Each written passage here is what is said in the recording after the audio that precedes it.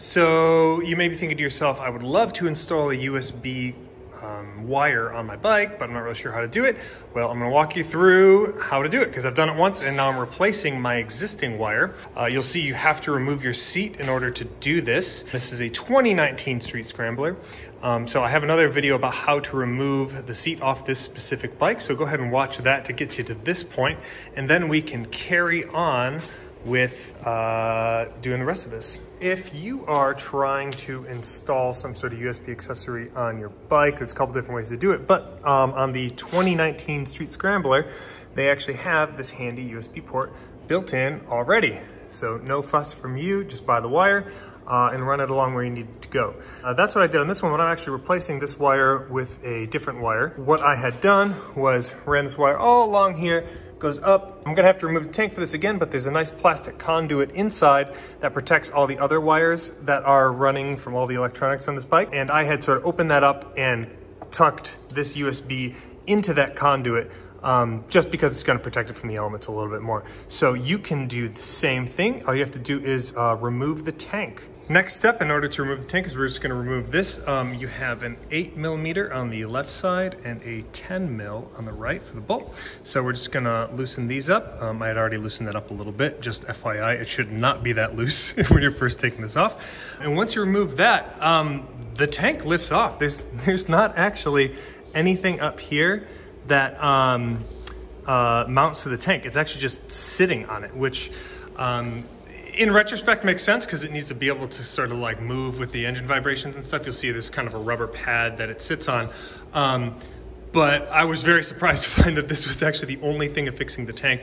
Obviously, you're gonna have a line running into the tank, so don't rip your tank off because you're just gonna pull your fuel line out and uh, I believe the fuel sensor as well. Um, but you should be able to at least elevate your tank a little bit uh, once you remove this bolt. Just finishing loosening the bolt, uh, the nut rather, right now.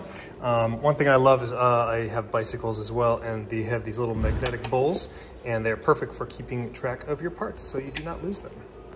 Now that that uh, nut is removed, we can just pull this bolt out like that, boom, stick it on our magnetic bowl, and now this thing is free and clear to be lifted out.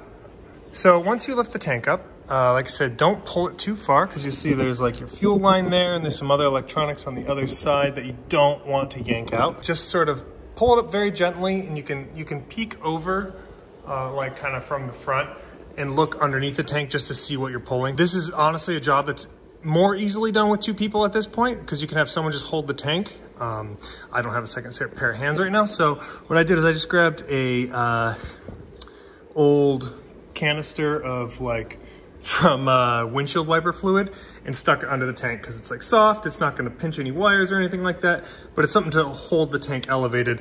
No, I am keeping a hand on it because it is not super stable. Um, so just be very aware of that. But you'll see what uh, I have here is that wire um, runs all the way into this plastic conduit right there, that gray wire. And there's little tabs all along the top. Um, and then it, it just pops out here uh, and carries on going up. So I'm just gonna go ahead and open up that plastic conduit and pull out the old wire. So you see those tabs have just popped open nice and easy and you can just sort of pull that back uh, and I've, I've kind of yanked my wire out of there all easy. There is a piece of tape on the front of it right here that I didn't want to um, break, so uh, I just kind of fed the wire through at that point. Um, so I'm gonna go ahead and finish pulling that wire through here um, and we'll get it all unlatched from the rest of this sort of uh, headset uh, and then we can keep going from there. Now that I'm ready to run this new USB cord um, through back through the bike the, to replace the cable we just removed, um, I've put the tank back sort of just back in its you know seating just so it's not crimping anything because that's the way it's supposed to go. So just to hold it there until I get it here, the wire plugged back in, and I'm ready to run it back through the, the rest of the bike, in which case I'll stick this old oil can underneath this again to uh, prop it up while I feed this wire through that um, plastic housing. Now that you have your wire plugged in, before you do anything else, what you're going to do is test your product, whether it's this uh, new quad lock wireless charger for the motorcycle or a standard USB cable that you plug directly into your phone. Turn your bike on, plug your phone in, plug whatever it is in, test it out because the last thing you want to do is run your wire through this entire bike just to find out something's not working. So let's go ahead and test that out right now. I have my quad lock uh, USB um, cord plugged in again in the stock USB outlet on the bike. Um, and so now I'm just gonna run it back through all this.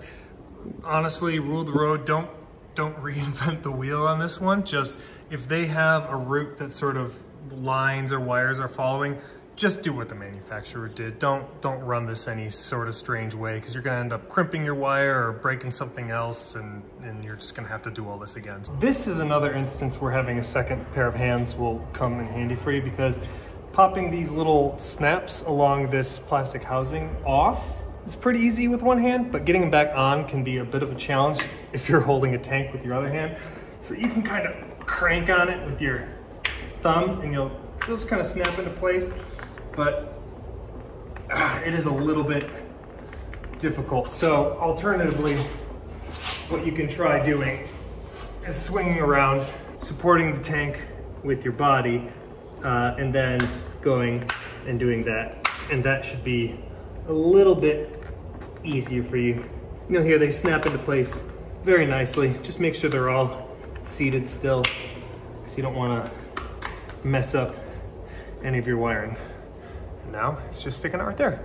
Now that the wire is sort of good to go, good to run up through the rest of here, it's like, all right, let's put the tank back on because there's no sense in having it disconnected from the bike if it doesn't need to be. Um, so you can generally just line it up here. You can see it's not quite lined up yet, but I was just kind of getting a feel for it. And I realized one of the pitfalls you need to be careful of to make sure your, your tank is mounted correctly. So I'll show you what to look for. If you come around to the front of the bike and you look kind of right through the headlight right in here, okay? So you'll notice, if I can get the good angle, see that little rubber foot with sort of the grooves, looks like a Lego tire on the bottom, and then there's sort of a C of metal above it. That little C of metal is supposed to go around that rubber sort of um, padding. Um, so right now, you see that, that little C of metal is sitting on top of it.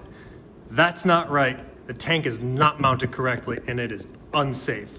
So you should, when you put your tank back on, triple check that you've put this thing back on correctly because you do not want it to be like that. First off, it's probably gonna mess with your steering. Your steering wheel is gonna hit your tank when you move left and right. But second off, I mean, your tank could literally fly up. Um, so if you hit a big bump, that could be disastrous. So when you put your tank back on, triple check that it is in fact correctly seated on these uh, rubber sort of pads. It is very difficult to see, but if you look where that flashlight is flashing, you'll see how that little C, that metal part of the tank, has one part on top of that rubber pad and one part on bottom and that's how you want it. You want that to be sort of wrapping around that rubber padding and that is how it's going to be correctly seated. And a good way to tell um, if this thing is correctly mounted is one, you're going to see I barely have enough space to see uh, right in there um, if, if in fact it is seated correctly. Um, so that's going to be your first hint is like, is, are, is everything tight and, and sort of close together? Um, and then obviously, if this isn't lining up, um, something's wrong. So obviously it's, it's a little misaligned right now, but it's close enough to where I know that this is correct here and that's correct there and our tank should be mounted correctly again. So I'm just gonna put that bolt back in here so everything's good to go. Our bolt is back in here on the tank. Um, made sure we didn't lose any of these um, little rubber pads here. And just another thing to test, just grab your tank and give it a pull upwards. if it moves upwards, that's what you don't want. So that now you know your tank is seated correctly and is not going to be dangerous later. Again, following the mentality from before, we're just gonna follow whatever lines that the manufacturer has run up the, uh, up the front. Um, we're just gonna keep this alongside those. The only thing left to do now is um, there's just a little bit of excess cord. And if you still had your tank and everything off, you could maybe feed it all back through and collect it back here. Um, I don't have that. I put my tank back on already and it's already in that plastic um, conduit sort of underneath the tank. And so pulling on that is not gonna do anything but other than maybe hurt the cable. So I'm probably just gonna feed, uh, I'm gonna test the steering back and forth, make sure that we have enough room and it's not pulling anywhere.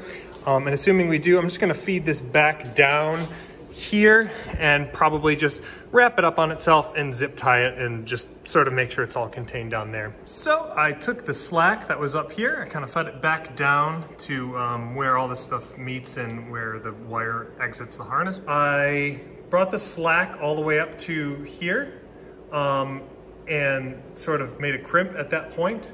Um, and you know, I'm just gonna show you what I did. So you'll see the slack is coming from here and the main wire is coming from here. I brought them together and zip tied. So then I had just a little loop of the excess. Um, and then I just sort of tucked that in back here and fed that loop back through here. Again, keeping it along all these wires and everything, because you gotta assume that if it's safe for the wires here, it's gonna be safe for your wires. Um, and that sort of just tightens it all up. Uh, I kind of push the steering wheel to the right because it gives you uh, clean access to this. Uh, and then holding the bike with one hand so you don't knock it on yourself. I just sort of tested the steering to make sure it didn't pull anything, and it's fine. So that is it. We are all installed for the wire. Now we just need to put the seat back on.